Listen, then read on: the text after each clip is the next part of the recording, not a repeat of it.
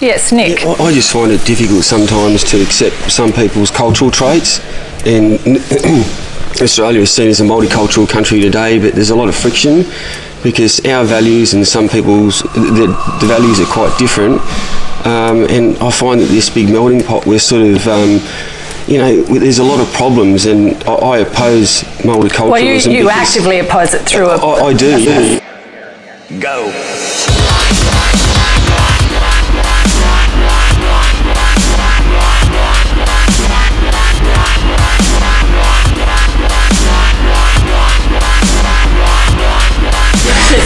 Racist, more racist. And, you and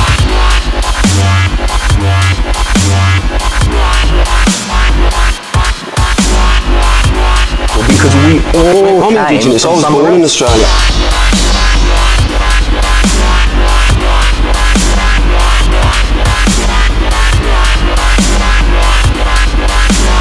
You don't worry that you're going to die when you take that many drugs. I'm surrounded by mad lefties.